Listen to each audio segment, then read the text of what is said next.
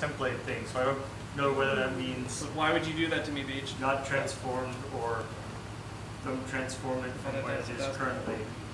That's complicated. I'm glad they didn't do that. All right. So we've we've been looking at uh, Beej's shirts and where to buy them. Uh, customkit.com. Uh, dot com. Does anybody uh, anybody uh, in England who's watching, or maybe Europe, work for Custom Kit? That would be hilarious, by the way.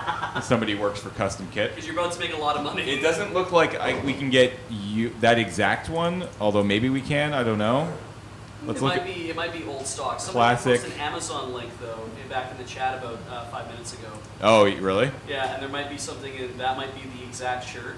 Here's the fun thing: I own three of these. Like I own three different shirts. There's the Amazon link right there. There it is.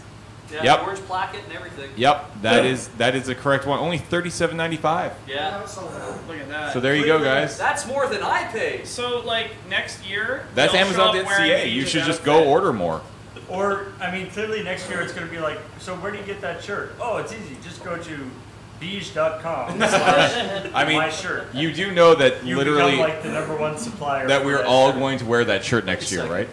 Well, that one's a little different because it's got orange trim along the collar. I like that a lot better. Yeah, I mean, presumably getting that shirt exactly is So you- probably so not. You're gonna throw your shirt in as a pig sweetener, Yeah, you gotta upgrade. Just buy Yeah. upgrade. Well, there's some nice nice versions on their actual website. Shirt 2.0.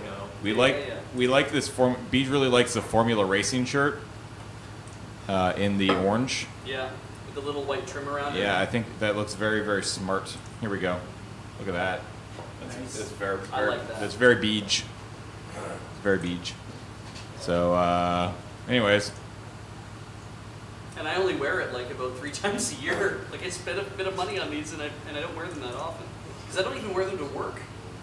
Like they're, I can wear this to work if I want to. I never will because it's like this is a performance shirt. I don't go to work to perform. I go to work to underperform. whoa. I hope somebody from your work is watching now. I hope so too.